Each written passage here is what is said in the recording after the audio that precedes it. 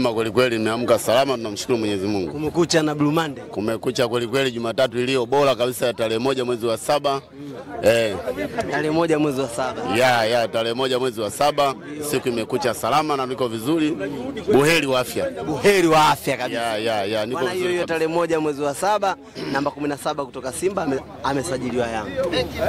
Ah, ni jambo zuri.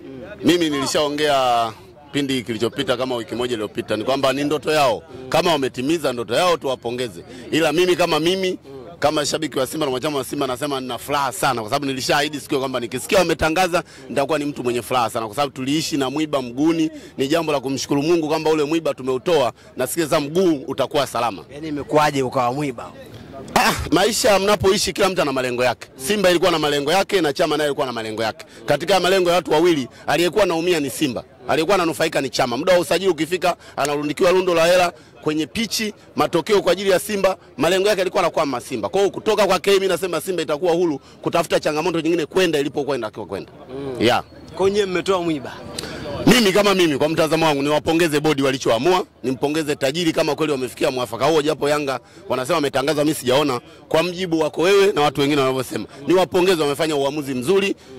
Ni lazima uende, kishatokea ndani unaishi na mtu ambaye hana furaha na wewe ana malengo na mtu mwingine, na unaishi na mwanamke anamwaza mchepuko nje, unaumia sana. Jeshini wanasema hata uwe mlenga shabaha mzuri, uwe ni mwanajeshi mkakamavu, ukishaonekana ni msaliti, wanakula kichwa Moja. vibaya sana. Simba tumechelewa sana na tumeumia mno. Mimi kwa hili niwapongeze na najisikia furaha mm. na hili niliahidi kwamba siku nikisikia wametangaza Yanga nitagaramia kijiwe kahawa. Kwa hiyo nafikiri leo naweza nikatimiza hilo jambo nilikuwa ninafanya. Na furaha sana, na furaha sana. Ngoja tuzungumze kitu kimoja. Kwa unavyomtambua Chama, ah, Yanga watakuwa wamepata mchezaji wa namna gani kwao? Ah, matumizi matumizi ya mtu inategemea, kwa sababu mtu alivyokuwa anaishi naye na wao akienda kuishi nao, unaweza kana kuna waza uwezo ni mzuri. Chama yule yule anaenda Zambia haonyeshi ambacho alikuwa anaonyesha Simba. Kwa hiyo inawezekana akaenda Yanga akawafanyia vizuri, inawezekana asifanye, kwa sababu mpira ni tofauti anavyocheza huku na kule.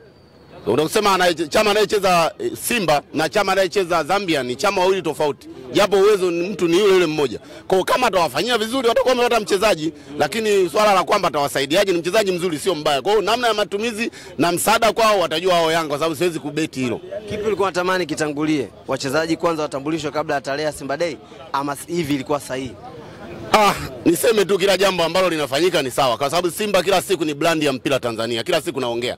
Na hiki, waandishi wanapiga kelele kwa sababu sisi tunakuja na kila jambo jipya, watu wengine wanafuata. Simba Day si tumeanza na mfumo ambao mwaka huu ametumia uongozi, ni mfumo mzuri, kwa sababu nyinyi waandishi mnalalamika, lakini sisi kama wana Simba tunaona ni kawaida. Yani kwamba mwaka huu watu wameficha password ambacho anafanya magoli, anapoenda mchezaji anaongea naye, anamalizana naye na anaondoka naye. Nyinyi mlishazoea kusikia tetesi, wanaongea naye, wanaongea naye, mwisho watu wanapata password, wanaenda kuchukua wachezaji, tunabaki tumedua. Simba walimfuatilia, ameshindwa, amechukua hivi. Kwa hiyo mwaka huu Simba amefunga password ndani, watu walikuwa wanaongea maneno mengi kuhusu Simba, kwa wamekuja watu na usajili katika surprise nyingine. Haiwezekani kila jambo likawa wazi, kwa kila mtu anafanya maisha yake. Maisha ya Simba ndio hayo, tulichoamua kuishi hivyo. Kaeni kwa kusubiri, muda utafika, mtapewa taarifa, msiwe na haraka. Kwa tunaofichwa ni sisi.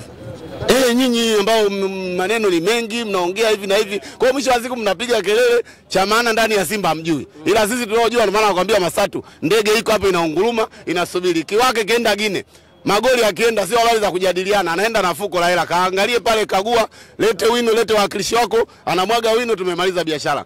Jiandae siku fulani, njoo upige picha za utambulisho kimya kimya, na watu wanaingia uwanja wa ndege hapa, wala hata Kuna watu zaidi ya sita wako hapa Dar es Salaam, wachezaji zaidi ya sita wako Dar es Salaam na wanapiga picha za utambulisho, lakini waandishi hamjui. Kwa hiyo mwaka huu tumefunga password. Simba ndio brand ya mpira, kwa hiyo kila siku sisi tunakuja na surprise ya jambo jipya. Msituzoee, hatuishi kwa mazoea, na ndio maana jambo hili kwa kuto kuishi kwa mazoea, nimesema kwamba Chama aondoke, tusiishi kwa mazoea. Simba inataka kwenda katika lengo lingine. Ukienda katika lengo lingine, huwezi kuishi vile vile. Na maana leo unaona mtu anabomoa nyumba anabadili mlango anaenda hivi kwamba ana lengo gani? Kwamba anataka kwenda katika falsafa nyingine. Kwa hiyo Chama kama anaondoka ni falsafa ya Simba ambayo inatakiwa kwenda katika enji, ego nyingine. Lakini Bakari Nondo Mwamnyeto angewasaidia ule mngemng'ang'ania. Ah, waandishi ni jambo zuri, sio mchezaji mbaya, ila itakuwa jambo la ajabu kama unamtoa unamtoa Kennedy Juma unamleta Mwamnyeto. Simkatai, ni mchezaji mzuri, lakini kama Simba nataka kwenda ingeenda kumsajili Mwamnyeto, ilikuwa ni jambo la kurudi nyuma tena. Kama namtoa Kennedy Juma, ndio ulete mtu ambaye ni tofauti na hao wachezaji. Kumleta tena Mwamnyeto ni kama narudi kule kule, ni kama unavyosikia kwamba wanamsajili Lameck Lawi. Unaweza kama msajili Lameck Lawi kweli kama mbadala, lakini huwezi kusema unaenda klabu bingwa na Lameck Lawi, lazima kuna kuwepo watu wale, tokea labda dharura, naweza akachukua nafasi Lameck Lawi. Lakini ukioni kama Chuma Lawi anaweza ka Ah, ni mchezaji mzuri lakini anatakiwa kujengwa, anatakiwa kujifunza kupitia kwa watu, kama ambacho tulitarajia Kennedy Juma tungemjenga. Ameshindwa kujifunza ndani ya miaka mitano, imefinisho inatosha. Akija akajifunza, hata huyo unamwona eh, anayecheza vizuri pale Yanga, nani Baka, alikuja akasubiri, akajifunza na akafanya mazoezi, akanyonya kutoka kwa wale waliowakuta, mwisho siku amefanya kazi nzuri. Hata Lawi akija anaweza akajifunza kupitia waliopo na watakao kuja baada ya pale, anaweza kaingia kwenye kikosi, lakini sio ghafla useme tu tutamtegemea yeye ndio uwe panga pangua. Simba hii inayojengwa kwa Lawi atabidi asubiri. hivi, kama ndo unapewa nafasi ya kutoa thank you kwa kikosi cha Simba waliobakia na kupa nafasi ya wachezaji wawili Wa kufanyaje? kwa kuwatoa kwa sasa hivi ah, kwa sasa hivi bado wa kutoka ni wengi, huwezi kusema ni wawili, bado wakutoka ni wengi. Wewe nafasi ya wawili tu kwanza wewe, afu wengine watapewa zingine. Mimi ni tena nitoa Mimi nasema bwana, huyu Naumi kwanza leo hii ya Jobe ndio Bakari Sali Baba Kalsal pamoja na Jobe. ya Kwa nini hao tu? ah, ni mtazamo wangu kwa sababu maoni yangu Jobe nafikiri namna ya anasema ni- niongea hata kusema wakati wamebakizwa Mzamiru na Israeli Mwenda, kila timu ina DNA yake. Uchezaji wa Simba na Jobe haviendani. Inawezekana huko alikuwa mchezaji mzuri, lakini kaja kwenye mfumo wa Simba anaonekana kama ni mtu ambaye haendani kabisa. Hata umpe pasi namna ambavyo Simba inataka kwenda hawezi kwenda. Kwa hiyo namna unapokuwa na mtu kama yule ni kama una, una silaha ambayo haifanyi kazi. Ukiwa na silaha haifanyi kazi ni jambo la maumivu makubwa, kwa sababu unalipa mshahara unamgharamia, hamna kitu kama hicho. Bakari Sali ni mchezaji mzuri, anatakiwa kuzungukwa na watu wengi ambao wanatakiwa kwenda kwa kasi. Kwa Simba iliyopo nahisi kwamba anakaba vizuri, lakini muda anamuona kama ni mzito kwenye kunyanyua timu na kurudi haraka kuweza kuziba mashambulizi. Kwa hiyo kwa namna Simba maana mchezaji wake wa Simba, kwa sababu Simba ni mchezo wa haraka kwenda na kurudi, lakini kwa mfumo wa Bakari Sali, ndio maana nikasema kwa hao wawili nitaanza nao. Hao hao unaanza nao. Eh, hao wawili kama unanipa panga ndo naanza nao hao. Ila ila hizi mnazosema nyie kwamba sita wako hapa kweli zipo? Ah, ndio maana nikakwambia hiyo password tunayo sisi wana Simba. Yaani mimi mimi nataka tu nithibitishie. Wapo. Ah, ndio maana nikakwambia hiyo password tunayo sisi wana Simba, nyinyi watu wengine hamwezi kupata. Ah. Ya, wapo mjini. Wapo. Eh, wapo mjini. Wapo mjini, wapo mjini. Na ndio maana imetangazwa Simba Day tarehe tatu ambacho ni nitumie vyombo vyombo cha habari hiki kusema. Tunatangaza Simba Day. Mimi niwaombe viongozi. Kuna wanachama ambao walikuwa wamewafungia. Nafikiri waweke mapanga chini. Tunataka kwenda kuwa pamoja kwenye furaha ya pamoja. Simba Day ni tamasha ambalo linatukutanisha kama wana Simba. Tukiwa kwenye furaha tunaanza upya, tunasahau yale ya nyuma.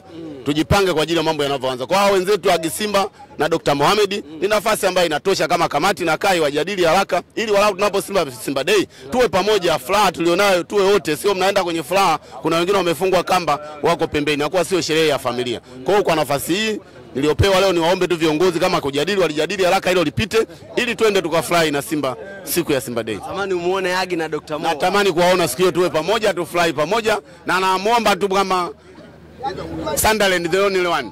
Nadhani afanye haraka kama imekuwa mapema na yeye nadhani hawai. Ni vizuri zaidi siku ya Simba Day tukapendeza na uzi mpya tukiwa na chata mutari mgongoni. Mm. Yeah. Ila hizi za msimu huu mnatamani mkazizindulie mka, mka, mkazizindulie wapi? Ah, hizo ni uamuzi wa Simba tutaamua wenyewe kama tutaenda baharini au tutaenda kukamata tembo Mikumi tuzindue tumepanda kwenye tembo. Sisi nitakutana na chama anapiga picha huko. Ah, hao ndoto yao, yani hao ndoto yao imetimia. Sisi ndio blandi, miaka sita wanamfuatilia. Kwa hiyo kumpata safari na ameongea injinia mwenyewe, sio mimi. Injinia ameongea Azam TV live, anasema hakuna timu Tanzania ambayo haitamani kuwa na chama kiungo bora, mchezaji bora ambaye hakuna timu. Lakini wakati ule unawauliza, wanasema ana Pacome, tuna Aziziki atacheza wapi? Leo hii wanamsifu na wanasema wanampeleka mpaka Mikumi. Ni ndoto yao, ni ndoto yao, ni ndoto yao, eh, ni ndoto yao. Lakini kama mimi na kama walivyosema Wasatu, unaishi na mtu miaka 30 inafika stage huyu ananikwamisha, siwezi kwenda, unamwacha na ukimwacha mwingine anakimbilia kumtafuta. Kwa hiyo sio kosa yule aliyemkimbilia. Leo hii kuna vitu unatumia ndani, una makabati, una TV, unamtafuta muuzaji wa pembeni, hizi scraper chukua ukauze huko bei ya jumla, ni unanipa shilingi ngapi? Kwa sababu unauza kwa mafungu vile. unanipa shilingi ngapi? Nakupa hela zake, akienda kupanga tu siku hiyo, mtu anauliza TV shilingi ngapi, hii kabati shilingi ngapi. Kwa hiyo hakuna mwenye kosa. Sisi tulioacha tumeacha kutokana na kariba yetu, tunataka kwenda wapi, nao waliochukua wanastahili, kwa sababu wanaona kile kifaa kitawafaa, sio kosa. Mmeuza kwa mafungu. Ah, sisi tumeuza tumeuza kwa mafungu. Tunataka kuweka furniture mpya. Eh, tumeuza kwa mafungu, tumetoa mwiba mguuni. Hao wanaotaka wachome nao acha wakaishi nao. Eh, si tuko free. Ndio maana nakwambia leo ni siku ya furaha sana kwa sababu tulikuwa tunakwama. Simba ilikuwa inacheza kutumia kupitia kwa Chama. Chama alivyoamua ku- kukwama na Simba imekwama. Ndio ukweli ulivyo. Ndio ukweli ulivyo. Ameondoka hapa forward mmoja Dejan mzungu yule. Mpaka leo leo inaniuma Kwa nini? mpaka leo naumia. Wame- Wamesababisha wao kaondoka, wameshindwa kumpa ushirikiano. Utapataje forward kama yule? Wakina nani? Hawa ambao tunang'oa miba, hawa ambao tunang'oa miba, eh, hakumpa ushirikiano Dejan. Dejan ilikuwa bonge la forward, lakini amekwama kwa sababu ya wao kwa kumfichia mpira, weka kwenye njia, wanapiga back pass iweke hapa, anapiga back pass. Utachezaje? Mpira ni mchezo wa ushirikiano, sio mchezo kama boxer kwamba unacheza peke yako. Mpira ili ushaini, unataka ucheze na wenzio. Kwa hiyo wenzio wanapokosa kupa ushirikiano, huwezi kuperform. Mwisho wa siku, mzungu anaona kilichopo, hata anapocheza naye anajua kabisa wewe ushirikiano hauna. Mwisho atafuti mambo mengi, hawezi kutafuta gogoro, anajua kabisa nitasababisha gogoro kwenye timu. Kaomba mzungu kachomoka, lakini huko aliko anatupia na ana assist. Mam, inasikitisha, inasikitisha. Mwisho wa siku wanatuharibia timu, inaonekana tunasajili sana mara kwa mara, lakini walikuwepo miba ambao wanakwamisha maendeleo ya Simba. Na mmoja wao ndio huu mnauchomoa. Umemtaja wewe hiyo, umemtaja wewe.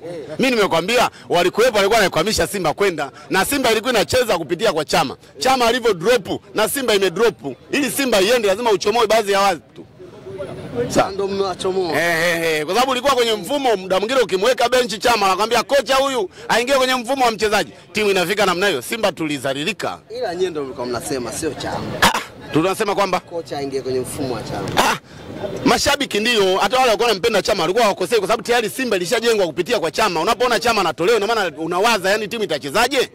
Namna ambavyo timu ilikuwa imeundwa sio kosa. Mashabiki tulikuwa tunaamini kwamba timu inaenda kupitia mfumo wa Chama. Unapomtoa Chama tayari watu wanashika kichwa, Simba itachezaje?